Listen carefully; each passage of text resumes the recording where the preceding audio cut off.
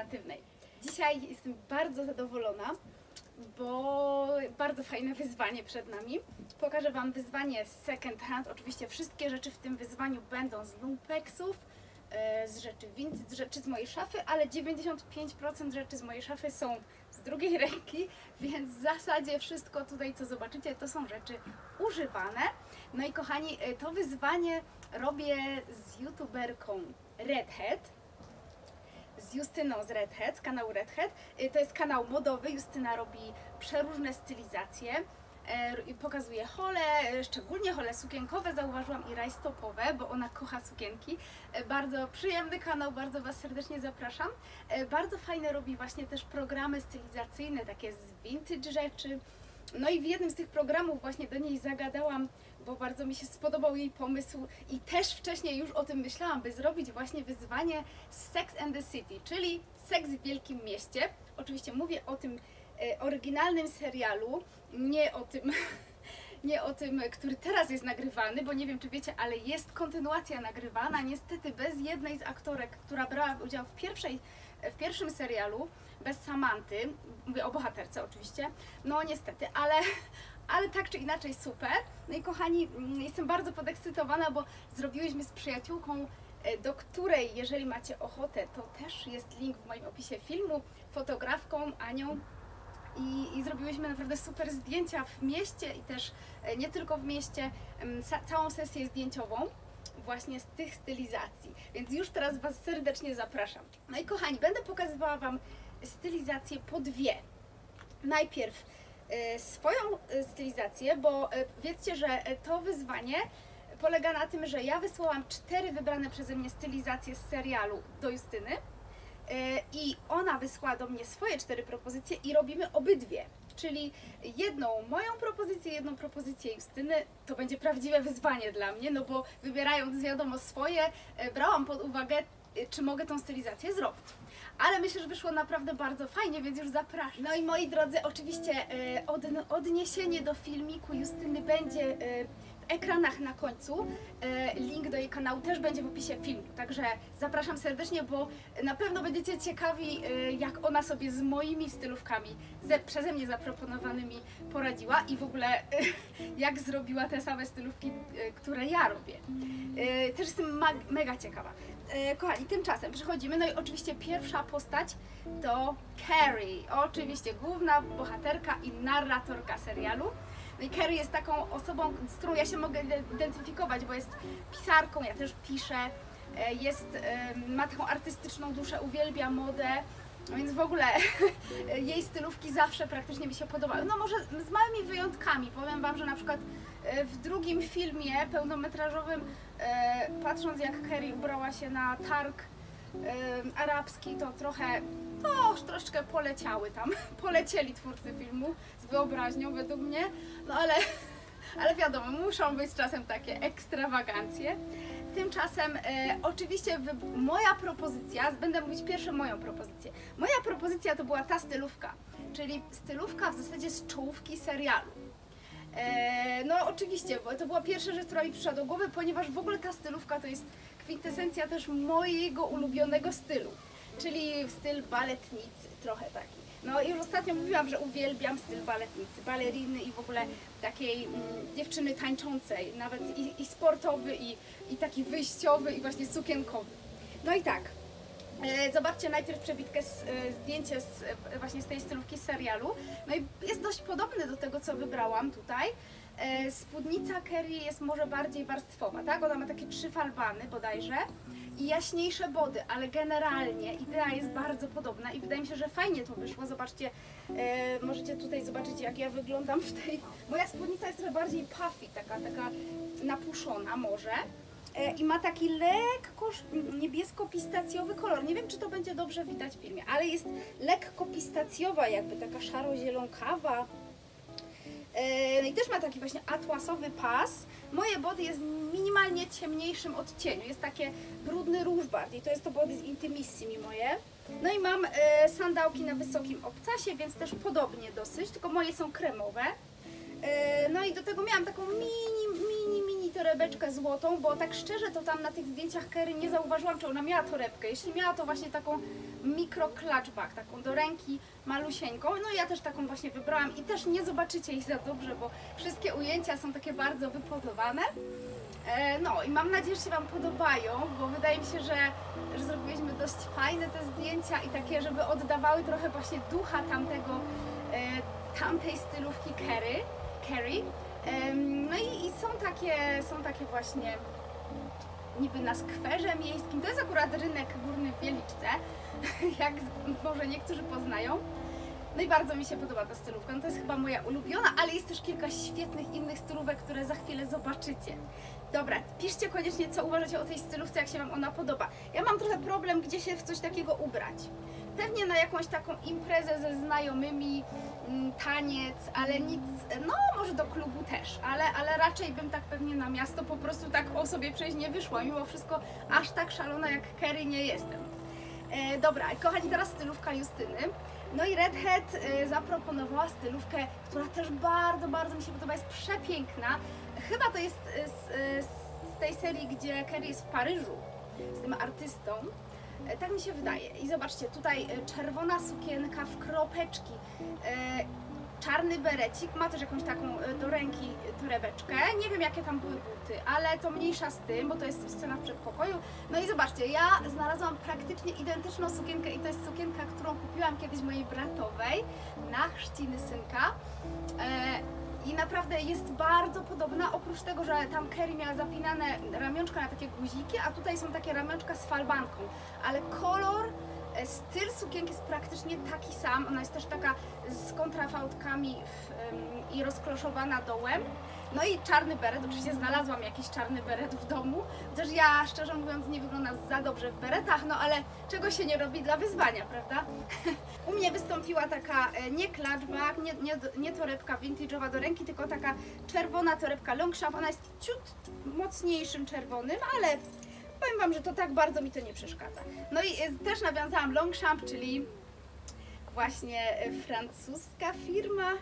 Skojarzyło mi się z tą paryską właśnie stylóweczką. Mm.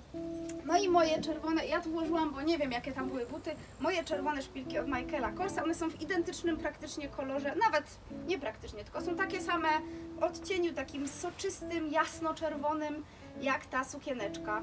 No i bardzo, bardzo fajnie to wyszło według mnie.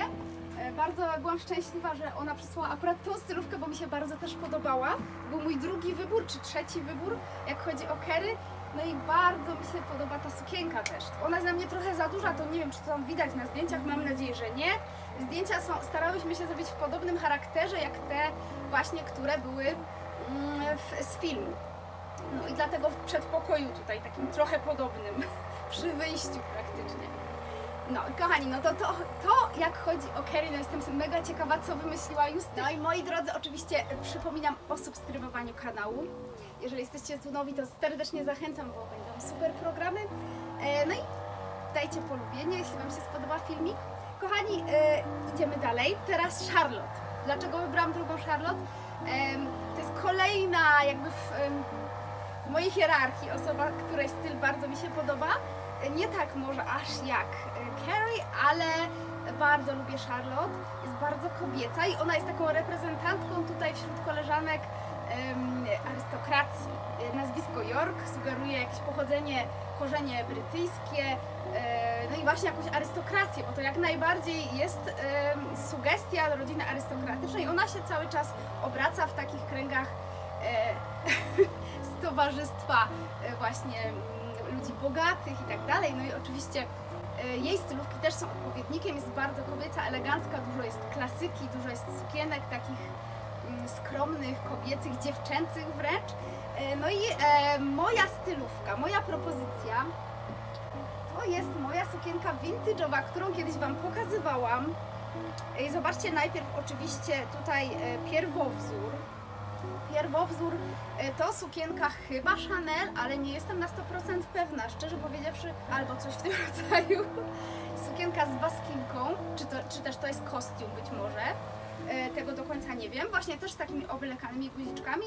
Jest tam baskineczka. Kolor jest bardzo mocny róż. E, U mnie troszkę ciemniejszy nawet niż, niż mocny róż, taki już to troszeczkę wpada w taki biskupi lekko kolor. No i lekka modyfikacja, no bo oczywiście ja nie mam takiej samej sukienki, to jest chyba oczywiste, natomiast, natomiast kolorystyka, tak, styl, tak, ponieważ em, ja nie lubię baskinek i nie, źle się w nich czuję. E, Jeżeli macie chłop, taką figurę chłopczycy prostą, bez wcięcia, to baskinki będą dla Was super, natomiast ja, ja się źle czuję w baskinkach. Być może odpowiednio skrojona baskinka z wyższej półki ubrań, tak jak u Charlotte, będzie fajnie właśnie maskowała, może troszkę przy szerokie biodra, bo Charlotte jest e, bodajże typem gruszki, ma szersze biodra, a bardzo kobiece ramiona. No ja nie. No i zobaczcie, u mnie sukienka odpowiednikiem jest długościowym, ma też rękawki, no i ma takie falbanki z boku. Zamiast baskinki to tutaj wariacja tego, tego marszczenia właśnie jest po boku, taki piękny detal mm, z jednej strony e, takie falbany schodzące w dół. No i żeby podkreślić talię, ubrałam sobie pasek vintage w kolorze takim właśnie różowym. Piękny z, taki, z, takim, z takich sznurków jakby i tutaj zdobiony złotą klamrą.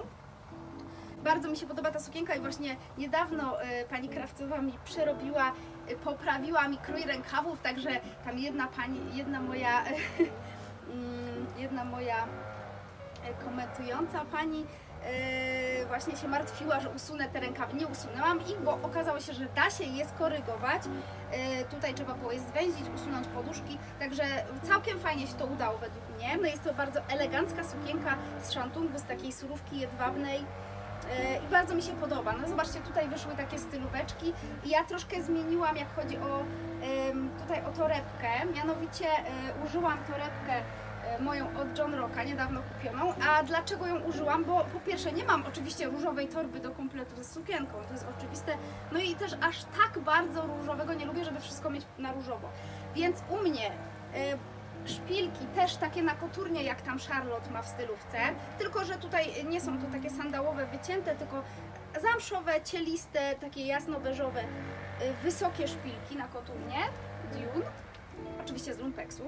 No i ta torebka nawiązuje kolorem do szpilek, czyli jest taka neutralna do tej sukienki, ale zobaczcie, nieprzypadkowo ją dobrałam, bo ona ma tutaj piękną taką właśnie, jak tutaj te falbanki na dole sukienki, jest ozdobiona taką falbanką na zapięciu właśnie, skórzaną. No i z tej strony przy tej małej kieszonce też jest falbanka, więc w ogóle według mnie ta torebka idealnie pasuje do tej sukienki. Nawet bardziej mi się chyba podoba to połączenie niż to e, w filmie. Znaczy oczywiście tamta torba to jest na pewno jakaś, jakiś mega wypas markowy, no ale jak ja bym się miała ubrać, bym takiej ciężkiej, wielkiej torby raczej do tego nie wzięła, tylko właśnie taką słodką torebeczkę z falbaneczką. Ciekawa jestem, co myślicie o tej stylówce. Piszcie koniecznie.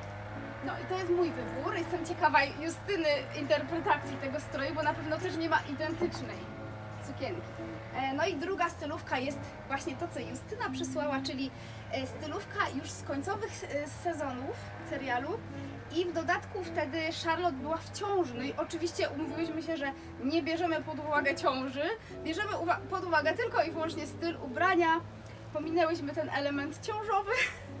No i zobaczcie, tam e, jest praktycznie bardzo podobna sukienka u Charlotte, tylko płaszcz jest też w jaśniejszym odcieniu, taki blady róż, taki e, baby, taki doll, doll tak?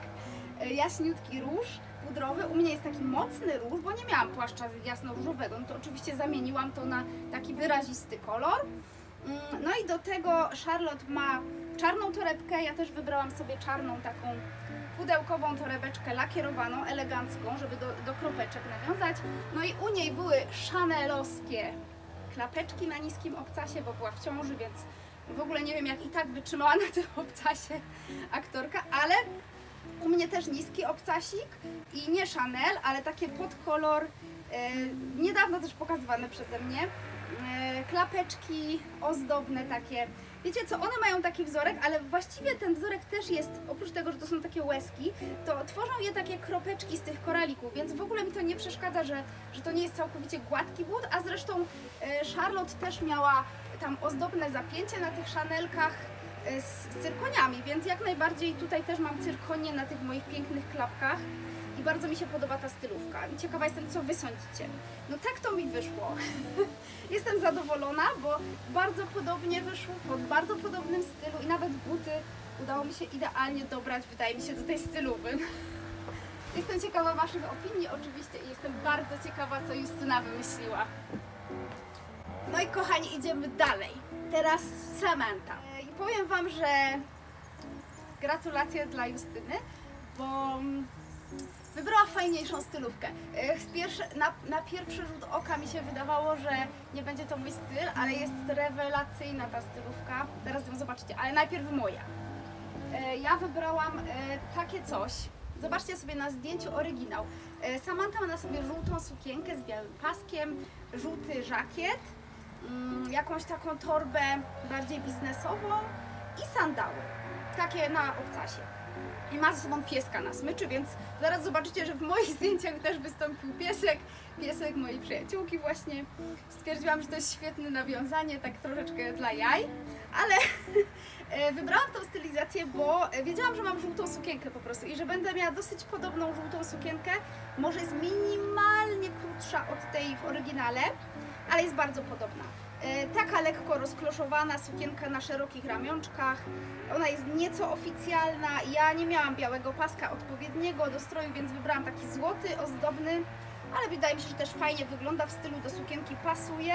No i mam żółty, taki vintage'owy żakiecik, ale lata 60., chyba nawet z lat 60. czy 70. Ale e, on tutaj jest tylko tak narzucony na ramiona. I zobaczcie sobie na zdjęciach. No i do tego e, wybrałam też vintage torebeczkę, którą mam taką kremową. No i będzie super to pasować, bo e, te sandały, które mam na sobie właśnie wystąpiły w tej stylówce, bo ona też miała takie właśnie jakby paskowe budki na obcasie, więc tu idealnie i kolor moich sandałów i mm, i, i, i ta, do tej torebki idealnie się, się zgrał i ta torebka jest też właściwego rozmiaru i no i tak, e, taka jest oficjalna, e, pudełkowa przez ten swój vintage'owy styl. Bardzo mi się to spodobało do tego. No i zobaczcie, tak to wygląda. No, wydaje mi się, że bardzo podobnie. Ten, pewnie ten żakiet e, Samanty jest dłuższy tam, ale nie widać go, bo on jest tylko narzucony, więc stwierdziłam, że ten króciutki, crop topowy żakiecik e, w taką też fakturę będzie fajnie do tego wyglądał. No i w ogóle e, wydaje mi się, że tak jak chodzi o dokładność, o, o, taką, o taki styl, to, to fajnie to wyszło całkiem. Całkiem, całkiem podobnie i całkiem w takim właśnie filu. Być może tutaj można było e, trochę dłuższą mieć tę sukienkę, no ale nie mam dłuższej, ale i tak e, według mnie ta sukienka fajnie, fajnie oddaje ten styl Samanty z, te, z, tej, z tej sceny właśnie. Kochani, ciekawa jestem też, co Wy o tym myślicie, na ile Wam się to podoba. No i teraz ta wspaniała stylówka, którą wybrała Justyna i o której też myślałam, więc jak ona mi to przysłała, to się bardzo ucieszyłam, bo to była chyba na równi stylówka, która mi się podobała y, z tą, tylko właśnie y, miałam problem, bo nie miałam za bardzo z czego jej zrobić. No i tutaj y, musiałam kupić po prostu rzeczy do tej stylówki, na szczęście w lumpeksach. No i widzieliście tą spódnicę w ostatnim holu. To jest spódnica z tego hola, z tego programu o second handzie Biga za 3 zł, dosłownie za 3 zł. No jest bardzo podobna do spódnicy Samanty, bo zobaczcie, tutaj Samanta ma taką właśnie przed kolanką wąską, obcisłą spódniczkę białą, bardzo fajną, bardzo ładną. W ogóle no zachwyca mi ta stylówka. No i właśnie taką hiszpankę, bluzkę z bardzo bufiastymi rękawami. E, No i nie miałam takiej bluzki, ale znalazłyśmy właśnie z przyjaciółką na vintage bluzkę E, i też była niedroga, bo to coś koło niecałe 30 zł chyba kosztowało. E, No a, a moja przyjaciółka stwierdziła, że przydałaby jej się taka bluzka fajna na zajęcia, bo ona prowadzi też zajęcia taneczne, e, że będzie to fajnie wyglądało. No i oczywiście, że nie jest identyczna, bo nie jest cieniowana jeszcze z żółtym, ta bluzka, ale jest niebieska i do tego włożyłam szeroki żółty pasek, właśnie żeby ta kolorystyka jednak została zachowana. No i ten szeroki pasek pięknie właśnie ukształtował, podobnie właśnie jak tam na stylówce Samanty, tą bluzkę. E, Tutaj opuszczone jedno ramię. No i do tego mam żółtą torebkę. Tym razem e, nie jest to taka duża torba jak miała Samanta, ale taka mała torebka vintage. Ale jest w super kolorze, jest w identycznym kolorze jak ten pasek. Zobaczcie. E, No i bardzo fajnie to wygląda według mnie do tego, świetna kolorystyka. No i mam moje takie eleganckie, vintage, kremowe buciki Bali. Samantha też miała tam kremowe buty właśnie na sobie, na obcasie. E, no mega firma, mega jakość naprawdę, mimo upływu lat, to jest chyba z lat 80., no to są w idealnym stanie i świetnie się prezentują, naprawdę świetnie się też w nich chodzi, to jest e, najlepsze. No i w ogóle ta stylówka mnie zachwyciła i chyba zdjęcia z tej stylówki są moje ulubione. Naprawdę super to według mnie wyszło. Nawet trochę w podobnym settingu, w podobnej tam sytuacji powiedzmy ulicznej, jak, jak e, Samantha właśnie miała to zdjęcie. Także bardzo jestem zadowolona z tej stylówki i super, że Justyna ją wybrała. Strasznie mnie to cieszy i jestem też bardzo ciekawa, co ona, wy, co ona wymyśliła i jak, e, jak to ograła. Także tadam, idziemy dalej. No i kochani, ostatnia bohaterka, czyli Miranda. E, niektórzy twierdzą, że Miranda jest tak najmniej modowo ciekawą postacią. Ja się w ogóle nie zgadzam. E, może, może jej stylówki są takie bardziej zachowawcze, bo ona jest prawniczką w tym serialu. Są takie mm, nieraz bardzo biurowe, oficjalne, nie są jakieś ekstrawaganckie, ale Miranda ma świetny styl. Naprawdę dużo jej stylówek było mega eleganckich i przede wszystkim ubiera się, przynajmniej ubierają ją w tym serialu, e, bardzo fajnie, zgodnie z jej typem kolorystycznym. Ona jest typową taką jesienią z rudymi włosami, jasną cerą i naprawdę dużo tych stylówek przepięknie właśnie podkreślało tą jej urodę wyjątkową. E, No mnie się bardzo dużo stylówek Mirandy osobiście podobało. Jest nawet taka książka We Should All Be Mirandas. Wszystkie powinniśmy być Mirandami. O tym właśnie jak, jak bardzo em, ten styl jest uniwersalny z klasą i w ogóle taki em, właśnie fajnie e, u- dla każdego na co dzień. Taki zgodny jakby. No także przechodzimy już do stylówek na Mirandę. No i moja stylówka oczywiście pierwsza będzie i zobaczcie sobie w przebitce, E, tam jest e, Miranda razem z Carrie idzie po ulicy i ma taką bluzkę w takich właśnie fajnych kolorach przenikających się, właśnie świetnie dobranych do jej typu kolorystycznego. Tam są jakieś lekkie fiolety, e, coś tam pomarańcze, jakieś róże, coś tam się przewija zieleń. No i oczywiście, że nie miałam identycznej bluzki, ale kupiłam taką bluzkę i pokazywałam Wam ją, jedwabną, e, która wędruje też do mojej przyjaciółki, bo to też jest bardziej jej typ kolorystyczny, będzie pasować też właśnie do typu wiosny. No ale tutaj ją włożyłam jeszcze. Mm, e, Bardzo ładne kolory, takie, zobaczcie, właśnie takie zgniłe zielenie, trochę różu, trochę takiego mm, różu morelowego, beż, e, turkus bardzo jasny. I ona ma podobną długość rękawa, trochę inny dekolt, ale podobna właśnie taka do łokcia rękawek. Jest bardzo taka powiewna, powiedziałabym. No i do tego praktycznie identyczna jest moja ta spódnica ukochana, zresztą jedwabna. E, Troszkę wiadomo, tu inny design jest, ale materiał, na pewno tam ta spódnica też była jedwabna, jestem przekonana. E, Kolor jest prawie identyczny, taki właśnie beż, jasny. No i świetnie wydaje mi się, pasuje to do tej bluzki tutaj. No i do tego e, Miranda miała tam taką torebkę. Ja nie, nie wiem jak w całości wygląda ta torebka, ale tutaj ja wybrałam zieloną, bo u niej tam prześwitywało na zdjęciach, że jest coś zielonego w tej torebce. No i mam właśnie taką zieloną torebkę moją, za, kiedyś kupioną za, za 2 zł bodajże, tak? Bardzo fajna zresztą, modalu, bardzo firmowa torebka i świetna, funkcjonalna ze skórki. E, No i super do tego pasuje i do tego mam te, te same szpilki co w stylizacji z Charlotte były, czyli takie właśnie lekko na koturnie beżowe, zamszowe o dość wysokim obcasie. No i taka stylóweczka, całkiem też mi się, jestem zadowolona i że fajnie to wyszło. E, Wiedziałam, że ta spódnica będzie tu miała główną rolę, bo ją kocham po prostu. No i dlatego chciałam ją użyć właśnie, żeby jeszcze przerobić ją w jakiejś stylówce, żeby, żeby się jeszcze bardziej zainspirować. No i wyszło, wydaje mi się. E, Jestem ciekawa Waszych opinii na temat tych stylówek. E, Całkiem fajnie mi się to podoba. Co prawda ja nie będę do tej bluzki tego nosić akurat ani do tych butów, bo te buty noszę tylko do stylówek, nie jestem w stanie i w nich w ogóle chodzić. No chyba, że na scenę, ale to na chwilę. No, także, także e, bluzeczka idzie do mojej przyjaciółki, podobnie jak ta niebieska od Samanty. No a tymczasem ostatnia stylówka, czyli stylówka, którą przysłała mi Justynka z Re- Red Hat. No i to jest jedyna stylówka, która nie jest sezonu letniego. E, To jest stylówka typowo jesienna, taka zimowa. Na Nowy Jork to może nawet być późna jesień, wczesna, czy tam jak jest cieplej w zimie.